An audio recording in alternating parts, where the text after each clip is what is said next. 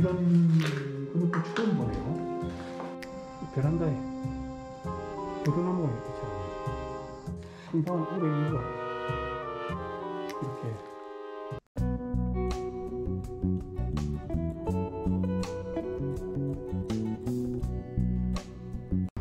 안녕하세요. 노르모입니다. 오늘도 오지 찾아 달려가고 있는데요. 함께 직진해 볼까요? 직진 앞에나 안개가 꽉 끼어가지고 아주 산이 높네요 앞산이.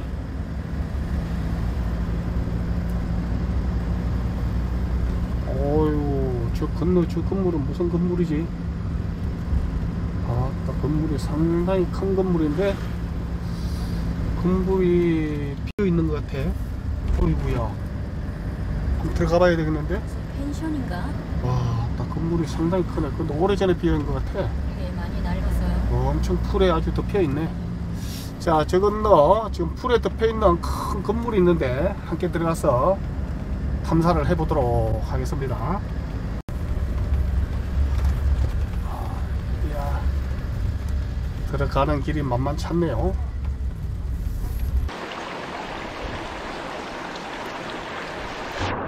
오늘도 오지를 탐사 중인데요. 와, 여기 이렇게 큰 건물이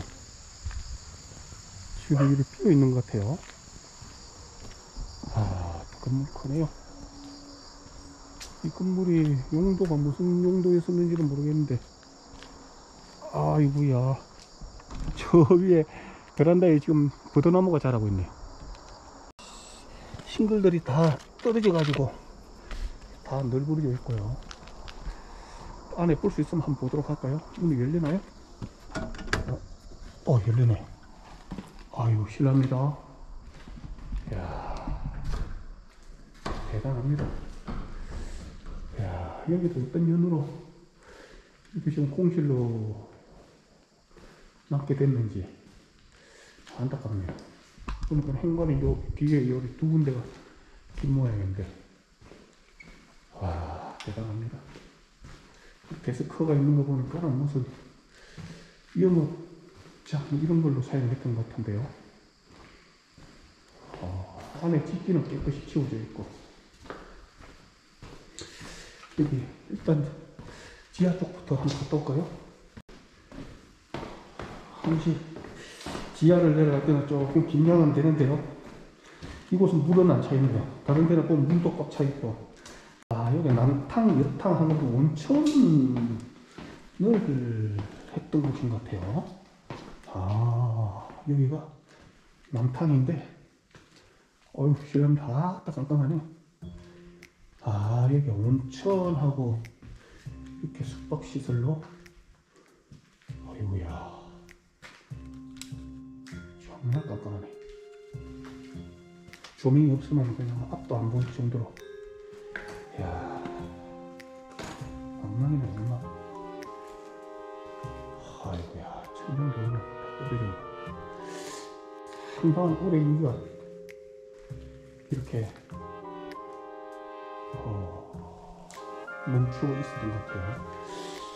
여기도 코로나 콘데, 코로나 때문에 여기도 코로나 역할은 이렇게 된 건 아닌지 알 수는 없지만 남탕은 이렇게 생겼네요. 요 어, 수정 같은 거는 다 떨어지고 하나도 없네요. 아, 요 남탕이고요. 요 옆쪽은 또 여탕인데 여탕은 들어가도 되겠죠? 여탕도 한번 들어가 봐야 되겠죠? 이곳이 여탕의 모양인데요. 자, 여탕도 한번 들어가 보도록 하겠습니다. 자, 실례합니다. 아, 잠깐 좀 구경 좀 하도록 하겠습니다. 와, 여기 더 어둡네, 더 어둡. 여기 밀어쳐. 여기가 여탕입니다, 여탕. 우리 여성분들이 사우나를 즐기는 그런 공간인데요. 우리 여성분들이 사우나를 즐기는 그 공간으로 사용했던 곳인데요. 이 안은 어떻게 생겼나요? 어, 여기 오늘 잠겨있고. 잠겨 있는 것도. 이거 뭐야? 아유, 깜짝이야. 이게, 아, 이거 아, 얘가 가마. 향토. 이렇게 가마를 사용했던 것 같아요. 아, 이런 해가지고, 바닥에 이렇게 뭐, 아, 떨리를 금방 나가야겠네. 아유. 아, 여기는 핀란드 같은 그런 도시만인데요. 문은 잘 되고요.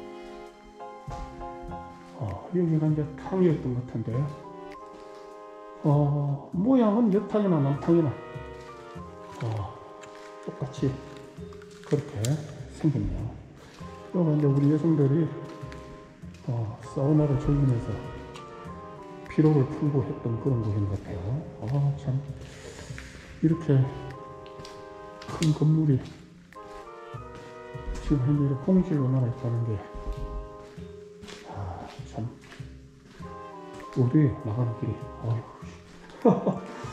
나가는 길도 잊어먹을 뻔했어요. 위로, 위로, 위로. 아, 겁나네.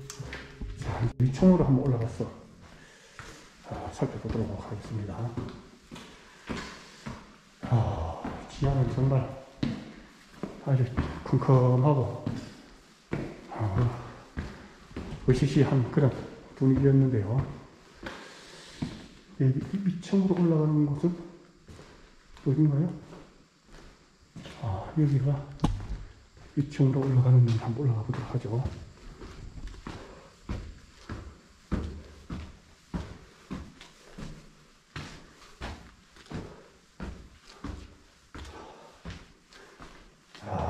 아, 여기는 룸으로 이렇게 사용했던 것 같아요. 실합니다. 방이 두 개로 이렇게 상당히 크네요. 사람들이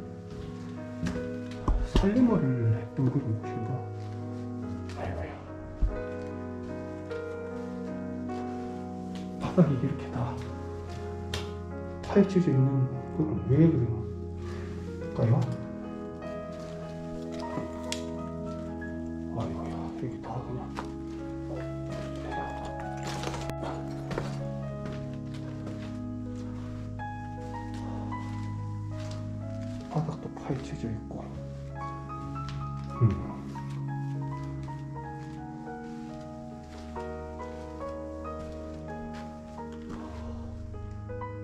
엄청나게 써주네. 이쪽 쪽은 어, 방이 두 개로 되어 있고. 여기는 베란다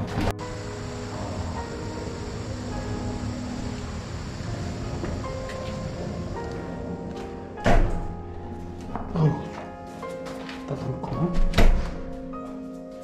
이렇게 막 곰팡이 썰어가지고 여기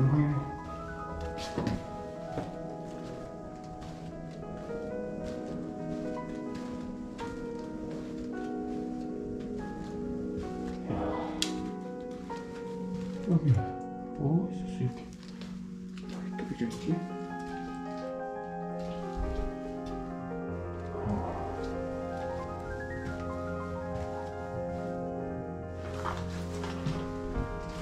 어디 볼수 있나요?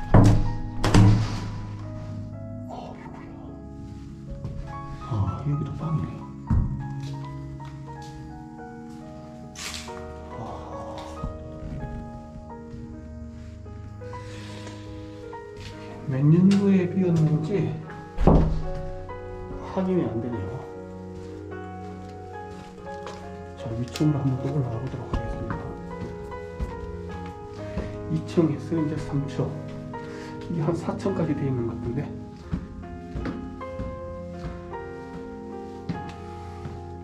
아, 시원합니다.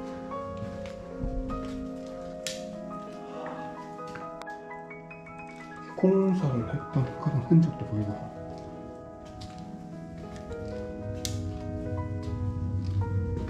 아, 네, 이게 맞나? 방 구조가 좀 특이하네.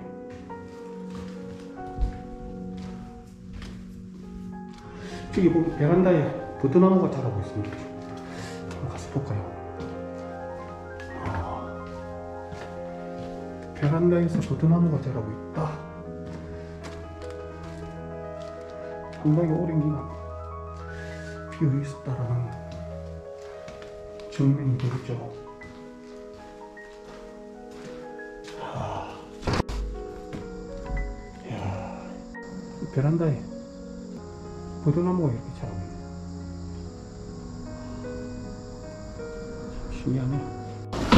갖다 놓고 가야 되겠죠. 아, 여기야.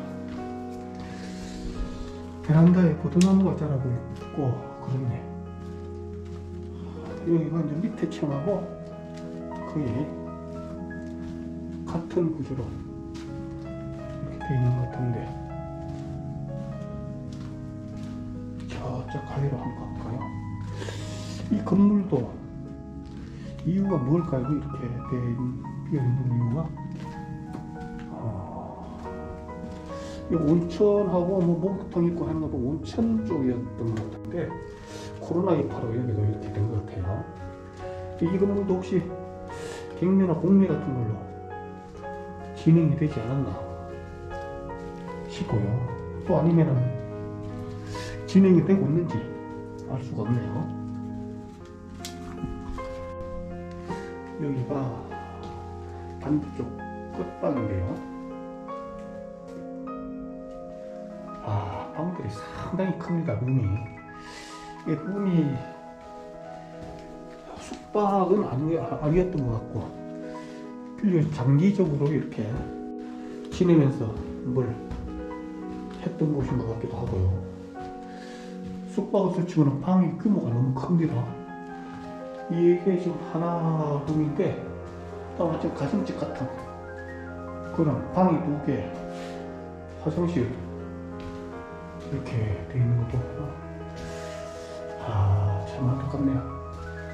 이게 제일 위에 집인 것 같아요.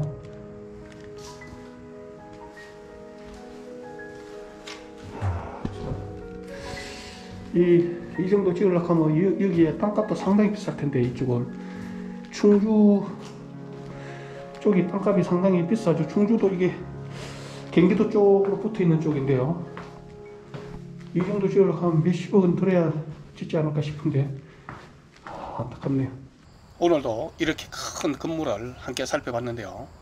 참 정말 안타까운 그런 현장이 아닌가 생각합니다. 이 건물은 온천으로 사용했던 그런 건물인 것 같은데요. 온천 산업이 코로나 오고 나서부터 직격탄을 맞았죠. 그 이전에는 상당한 많은 분들께 사랑을 받았던 그런 곳이었을 텐데요. 참 안타까운 생각이 그지 없습니다.